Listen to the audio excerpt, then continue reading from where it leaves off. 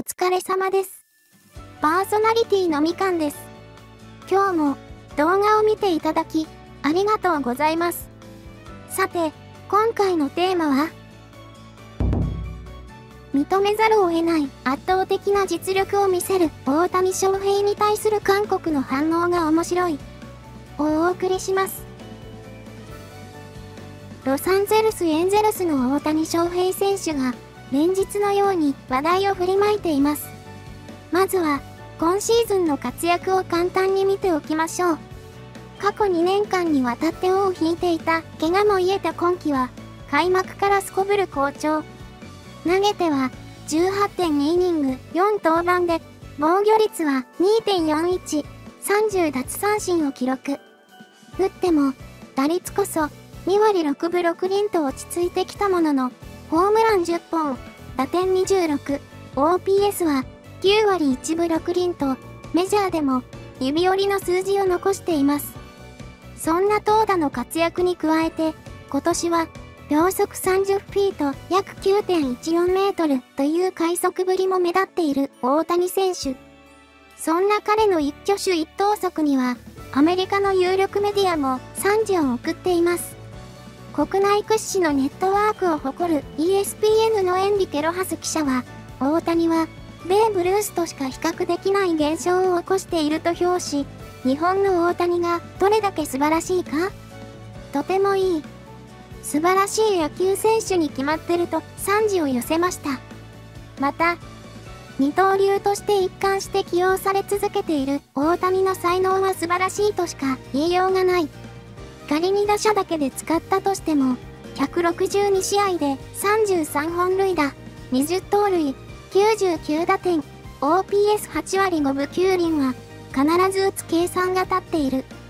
投手としても最速102マイル約164キロに達した彼のフォーシームは平均96マイル約154キロまで伸びているとのこと。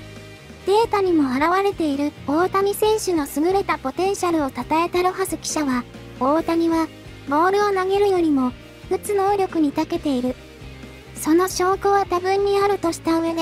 しかし忘れてならないのは、この日本人はまだ26歳だということだと強調しました。世界最高のリーグで二刀流として頂点を極める難しさから、誰もが長い間両方の役割を担えないだろうと疑っている。だが、現実には、大谷と比較できる例はほとんどないと言ってもいい。彼が成し遂げるあらゆることを分析するためには、この惑星で、史上最高の選手であり、同じ二刀流スターだったベーブ・ルースのキャリアを遡らなければならない。もはや、唯一無二の存在とも言える大谷選手。未だ、二刀流の継続を疑問視する声は立てないが、彼のキャリアには世界が注目し続けているようです。さて、その日本人離れした打棒に韓国も興味津々。韓国の日刊紙マネー・トゥデイは、大谷が MLB を破壊する証拠だとし、手バレル率がメジャー全体2位の14.7%にまで膨れ上がっていると伝えました。バレルゾーンとは、長打が出やすいとされる打球の速度と角度を組み合わせた独自の数値。言うなれば、長打を打つための指標ですが、今季の大谷は、これが飛躍的に上がっていると言います。この事実に着目したマネー・ドゥデイ氏は、まさに破壊的な数値だと絶賛した上で、大谷選手のポテンシャルを次のように表しました。今季の翔平大谷は、より一層進化したメジャーリーグに新たなスーパースターが誕生した雰囲気さえある。投手との兼業に取り組みながら、打席で MLB 屈指のパフォーマンスを披露している大谷は驚くべき男だ。今の彼は単純計算ながら162試合で56本塁打という驚異的なペースで打ち続けている。韓国でも鮮烈なインパクトを与え続けている大谷翔平選手。そのフィーバーぶりは収まる気配がありません。韓国ネットの反応大谷が東洋人として40本塁打打つのを見ることができれば本当に感激する。ところで、再契約はあまりにもかものように契約したな。SSG ランダース、韓国プロ野球チームの4番打者として迎え入れさせていただきます。先発投手がホームラントップ。ヤンヒョンジョンと大谷、どちらがメジャーで活躍してるの？比較できる状態ではない。打者だけしろという、奴らは、大谷が打者だけなら、ここで、こんなに話題になるほどのスターだったと思うか。トラウトを見てみろ。いくら活躍しても話題にならないし、クソみたいなことだけ言われてる。野球もサッカーも日本に圧殺だね。日本が羨ましい。かっこいいね。160以上投げて、打者もよく打って。韓国にも160投げる投手が出てきてほしい。さて、大谷選手は甘いマスクと今までの日本球界の常識を覆すほどの活躍を続けていることもあり、日本中で大人気ですが、これは今更改めて言うことではないですよね。しかし、彼のすごいところは、日本のライバルである韓国でも大人気だということ。残念ながら、政治問題などが絡み、日韓戦では、スポーツマンシップに欠けるラフプレーや行動が目立ち、何かと因縁のある両国。WBC では、日本に勝利した韓国代表チームが、マウンドに旗を立てたり、イチロー選手にヘイトが集まったりしていたのを覚えている方も多いと思います。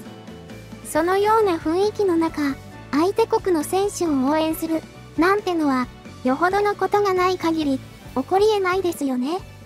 しかし、実際、韓国では、大谷翔平だけは認めるという声が多くあります。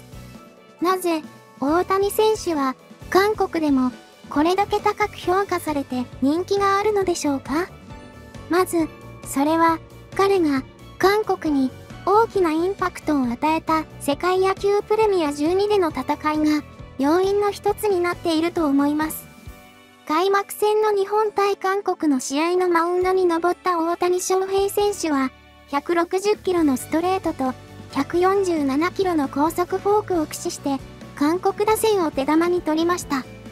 この試合の中継は韓国でも放映されていましたが、韓国側の実況の方や解説の方が、大谷の160キロに注目しましょうという発言や大谷選手のフォークを見て苦笑いするシーンなどもあり、素直に大谷翔平の実力に脱帽したという印象がありました。そして、この試合で大谷選手と対戦した韓国ナンバーワンスラッガーのパク・ビョンホ選手は、大谷選手との対戦を振り返り、このように語っていました。大谷を相手にしながら、多くのことを感じた選手人生で初めて持った感情だった。速球を持っていることは知っていたが、あんなに良い球質だとは思わなかった。あんなボールは初めてだ。と、後にメジャーリーグの舞台に挑戦するスラッガーからも最大限の賛辞を受けました。他にも対戦した韓国ナインからは、世界を見渡してもあんな選手はそうはいない、同じアジア人だと思えない。と、その規格外の怪物の登場に惜しみない賛辞を送っていたようです。日本人にも大きなインパクトを与えましたが、2度の対戦を通じて、大谷翔平は、韓国に自分自身の存在を知らしめることとなりました。今後、何度も対戦するであろうライバル日本に怪物が現れたので注目を集め、注目されるうちに、その実力が韓国のファンも魅了したため、韓国でも大谷選手は人気が出たんでしょうね。プレミア12で韓国に大きなインパクトを与えて以降、韓国でも大谷選手への注目は日に日に高まっています。大谷選手が日本最速となる165キロを記録した時にも、その活躍は韓国でも大きく報じられました。しかし、彼が韓国でも人気なのは実力だけが理由ではありません。それはいつでも謙虚な人柄と甘いマスクが人気を集める大きな理由となっているようです。韓国でもその甘いマスクは評判になっており、母性本能をくすぐるや可愛いという意見が多く見られます。プレミア12の開催中にも近隣の飲食店で、ファンから握手や写真撮影を求められても、愛想よく接していました。そのため、ファンを感動させたというエピソードも多数あります。試合後のインタビューでも相手を気遣うことができる姿を覗かせることが多く、人間としても高い魅力を持った人物だということが伝わってきます。大谷選手が韓国でも人気なのは、韓国のライバルとして注目されている部分もありますが、人柄、甘いマスクと大谷翔平の全てが人気を集める要因になっているようです。いかがでしたか？日本でも韓国のシホアイ・スンヨプ選手が当時のアジア記録となる56本を記録した時は注目が集まったことは記憶に新しいです。普段はライバルですが野球においては怪物が現れるとお互いに注目し合えるのが日本と韓国。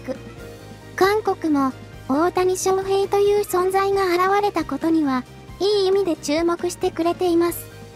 そして舞台をメジャーに移しても前代未聞の二刀流を成し遂げようとする彼の姿には全世界の人たちが期待を寄せています。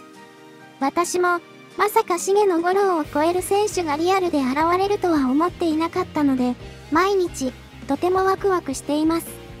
ぜひ二刀流を貫いてシーズン10勝 &3 割30本を達成してほしいですね。よかったら皆さんの意見や感想も聞かせてください。それでは、最後まで見ていただき、ありがとうございました。